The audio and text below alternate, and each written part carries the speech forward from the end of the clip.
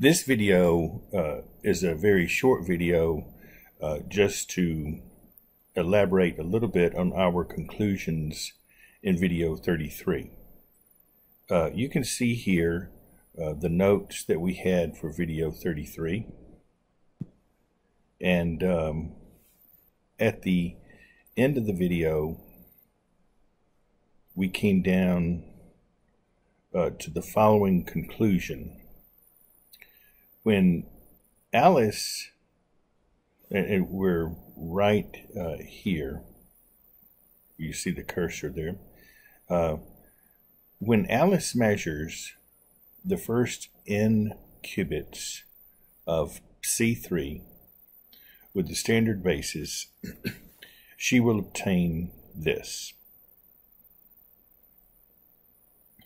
Now, uh, the first the first thing that's important to understand is that that would not be true. That could not be factored out in that way if this term here were not a constant. If this term uh, were changing, then you would need to expand these sums term by term. But because uh, this does not change with either z or x, this is simply a constant, then basically we're factoring it out and the first n qubits are given by this. And so this is what Alice will measure with the standard basis. And now we're trying to evaluate this. Now keep in mind that as we're going to see very soon uh, when I do a couple of examples this expression right here can be rather involved. In fact, what we're going to see is that uh, when n is equal to 1, so that we're talking about one qubit states, even in that simplest of cases, we will have four terms to sum. The reason for that is that when n is equal to 1, then x has to range over all of the possible one qubit states uh, under consideration, which would be 0 and 1. And likewise, z has to range over 0 and 1. So we will have all four possibilities there to consider.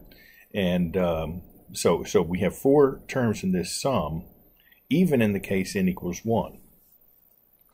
And when n is equal to 2, uh, we will have that would jump all the way up to 16 terms because um, when n is equal to 2, then there's four possibilities for x, 0, 0, 0, 1, 1, 0, and 1, 1. And likewise, the same four possibilities for z. And so 4 times 4 would give us 16 terms here to consider.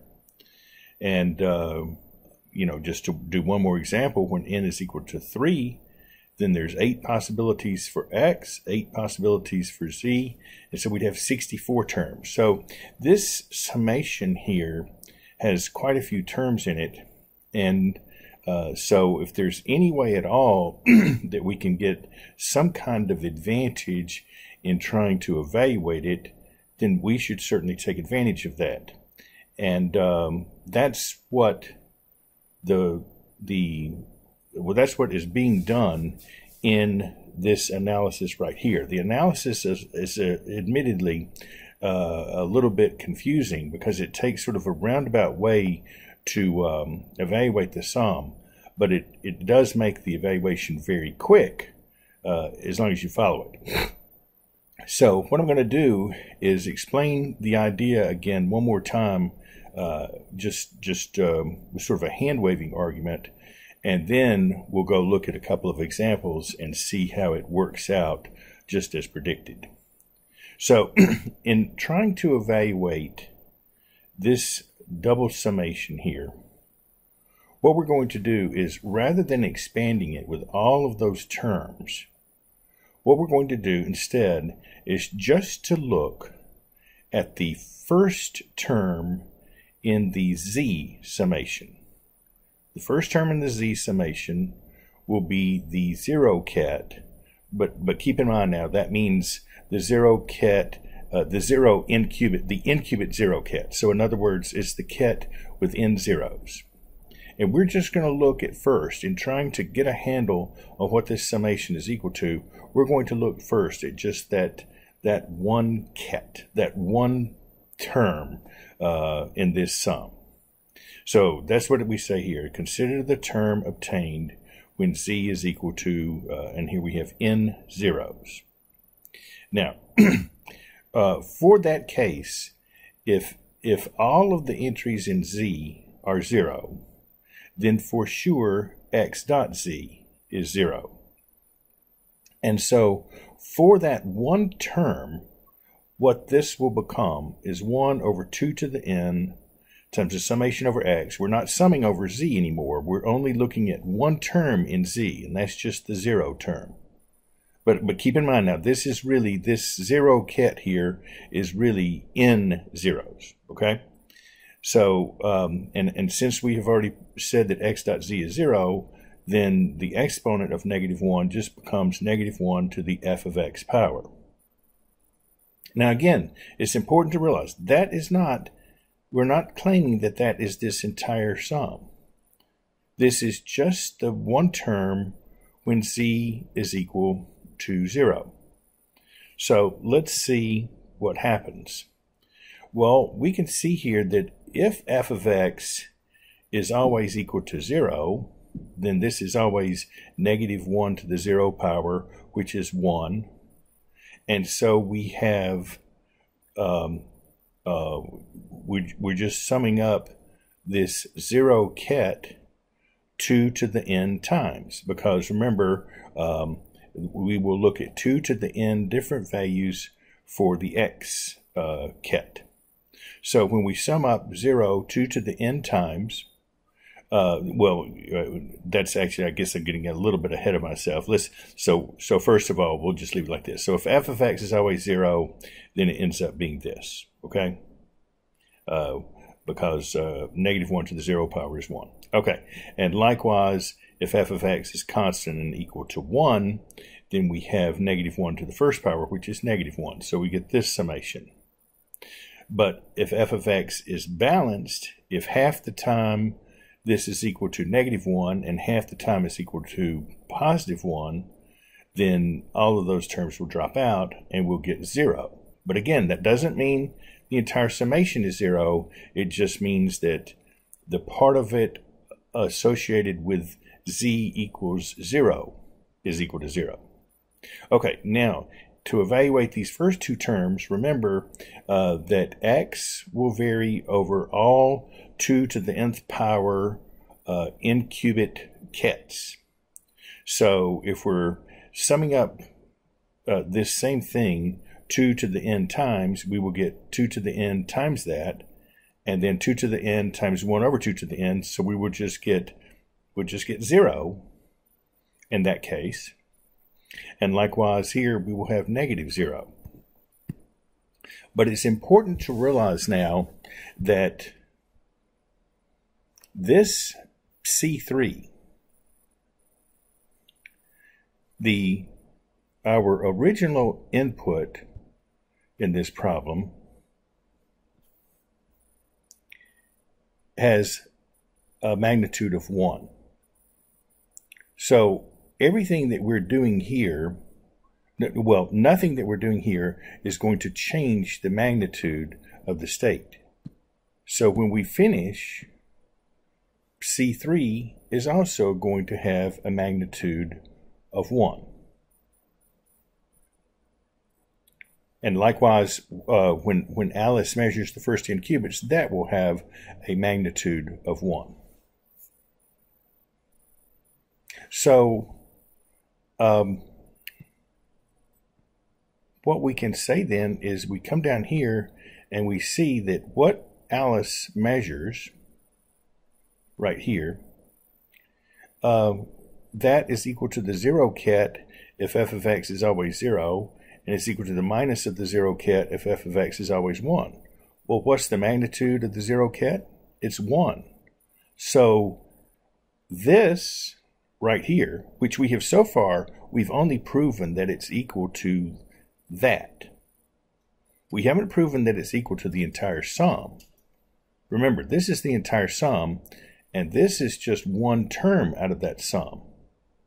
But we have shown that this one term in these two cases, in both of these first two cases, when f of x is constant, that one term alone has a magnitude of 1. And yet the whole thing has a magnitude of 1. So actually, this is the entire expression. All the other terms up here, when z is not equal to 0, would cancel out, both when f of x is always equal to 0 and when f of x is always equal to 1. Let me say that one more time. Whenever f of x is constant, all of the terms in this sum are going to go away except for the term where z is equal to 0. And we know that because that one term we have shown has a magnitude of 1, and this has a magnitude of 1, so there, there's no more left. But on the other hand, uh, when f of x is balanced, then this one term, the 0 term, or the term associated with 0, has no magnitude at all. And so this is what allows us to conclude that whenever f of x is constant, then, and it doesn't matter now if uh, f of x is constant and equal to 0 or constant equal to 1, Alice will measure 0. So she will measure 0 if f of x is constant, and she will definitely not measure 0 if f of x is balanced. We don't know for sure what she'll measure. It could be uh, any of those other n terms, but we're just not really sure. Uh, excuse me, any of those other 2 to the n minus 1 terms, but, um, but it won't be the zero ket. So that is the idea of this very clever way of uh, evaluating this double summation. We, we have um, we can evaluate the double summation. Just to summarize this, we can evaluate this double summation when f of x is constant and equal to 0 or when uh, f of x is constant and equal to 1. We can actually evaluate it, and we've done that right here. When f of x is balanced, uh, we, we don't have an easy way to evaluate it, but we can say for sure that when you do evaluate it, the coefficient of the zero term, in that case, when f of x is balanced, the coefficient of the zero term will be zero. So now to finally uh, make this uh, even a little clearer, I hope it's clear already, but to make this a little clearer, let's actually look at the n equal 1 and n equal 2 cases. So here I have uh, repeated our expression for C3 and um, um, here again is what Alice obtains when she measures the first n qubits. And, and uh, as I noted already, uh, you could not factor out these n terms like that unless this were a constant. If this were not a constant, then you would have to look at this more carefully. Okay? But uh, in in the case under consideration, that is a constant, and so we're um, able to say that these are the first n qubits. Uh, this is what um, Alice measures, and um, now we're going to come down here and actually evaluate that. It says to help us understand this better, we will consider the cases n equal 1 and n equal 2. Okay? So um, when n equals 1, we must let both x and z range over all possible 1 qubit states. That is, if x eh, that is x can be 0 or 1 and z can be 0 or 1. So we proceed as follows. So this this again right here, this is the expression for what Alice measures, the first n qubits. And when n is equal to 1, that will become the following. Now, uh, we first, in, in everything we're going to do here, we will first expand the z summation. So we first let z equal to 0 ket. And so we have uh, x dot z becomes x dot 0 plus f of x. We bring that down, and z is equal to 0. And then we also let z be the 1 ket. So then we have x dot 1 plus f of x, and here's the 1 ket. Now we sum over x. And x, again, x will range over 0 and 1 as well. And we have to we have to let x equal 0 over this whole term, and then we have to let x equal 1 over this whole term. Now, when we let x equal 0, then this will become 0 dot 0 plus f of 0 times 0. And then this will become negative 1 to the 0 dot 1 plus f of 0 times 1. That's what we, this is, this uh, parenthetical expression is what we get when x is equal to 0. And then this one is what we get when x is equal to 1. And so we get, uh, now when x is equal to 1, we get 1 dot 0 plus f of 1 there, and 1 dot 1 plus f of 1 here. And if we group uh, all four of these terms uh, a little bit differently, then we will come down here and get this. So we have the 1 half, and then we have uh, the 0 ket is multiplied by negative 1 to the f of 0 plus negative 1 to the f of 1. And the 1 ket is multiplied by negative 1 to the f of 0 minus negative 1 to the f of 1. And now look at that for a moment. If, and just think about it, if f is constant, again, if f is constant, well, that means that f of 0 is equal to f of 1. And if f of 0 is equal to f of 1, then these two terms right here, since we have a negative sign there, these two terms are going to cancel. So this will go away. And on the other hand, these two terms, if f of 0 is equal to f of 1, these two terms will be the same. So either this is going to give us a sum of negative 2 or a sum of 2.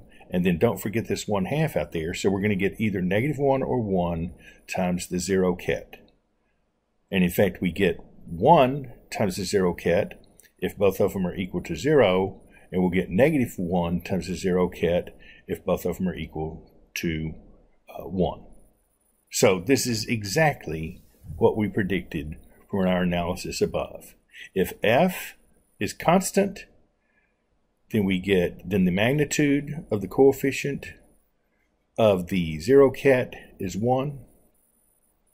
But if f is balanced, now keep it, if f is balanced, these two terms, that means that f of 0 and f of 1 are different from each other. And so one of these terms will be equal to 1 and one of them will be equal to negative 1. And so this will cancel out. And we definitely don't get 0 in that case because the coefficient of the 0 ket is 0 if f is balanced. Now, I think it's even more convincing when you look at the case n equals 2. So let's do that. And um, uh, here again is our expression from above for what Alice measures uh, the first n qubits. And when we evaluate that for n equals 2, now again, this is going to be a little tedious because remember, this means that z must be allowed to vary over 0, 0, 0, 1, 1, 0, and 1, 1 and likewise x must be very, uh, allowed to vary off over all four. So when we when we set z equals 0, 0, we get x dot 0, 0. Looking now for a moment just at this z summation, then we have um, an n is equal to 2, so 1 over 2 squared is 1 fourth. And we have summation over x, and now, like I say, uh, z equals 0, 0 first, so we have x dot 0, 0 plus f of x times 0, 0 and here we have x dot 0, 1 plus f of x times the 0, 1 ket. Here we have negative 1 to the x dot 1, 0 plus f of x times the 1, 0 ket. And then negative 1 to the x dot 1, 1 plus f of x times 1, 1 ket. And then we have to uh, evaluate this term in the brackets four different times because we sum, we're summing over x. And again, we have to let x equal 0, 0 we have to evaluate this whole term for uh, this whole bracketed term for x equals 0, 0. We have to evaluate the whole thing for x equals 0, 1. Then evaluate the whole thing for x equal 1, 0. And finally evaluate the whole thing for x equal 1, 1. And add it all up. And when we do that, um, here, right here, starting with this bracket right there, and ending with this bracket, that's what we will get but fortunately, uh, if you look down here, at uh, these last two lines, here we go, last two lines here, you can see that that does condense. And so we have this coefficient, and keep in mind that one fourth is out here. This coefficient for the zero zero uh, ket, this coefficient for the zero one ket, this coefficient for the one zero ket, and this coefficient for the 1, 1 ket. And if you look at those once again, you will see that if f is constant, it doesn't matter whether f is uh, equal to always equal to 0 or always equal to 1. If As long as f is constant, then the uh, magnitude of the coefficient of the 0, 0 ket, once you take into account this 1 fourth out here, will be 1. And, and the coefficients for all of the others will be 0. And so in that case, when f is constant, Alice is definitely measuring 0, 0. On the other hand, when f is balanced, now we don't know which one of the, well, actually we'll have a mixture of all three of these, but when f is constant, the, the coefficient of 0, 0 will go away. So once again, if f I think I might have said that incorrectly, so let me make sure. If f is balanced, this coefficient disappears. The other coefficients, we can't really predict exactly what they are unless we know a little bit about, um, a little more about f, but that's not important. The point is that if f is balanced, our coefficient of the 0, 0 ket is 0. So in the case when f is constant, we will definitely, uh, Alice will definitely measure the zero zero ket. And on the case, in the case where F is balanced, she will definitely not measure the zero zero ket. So I hope that by comparing uh, these two examples with our previous work, that it makes this idea uh, a little bit clearer.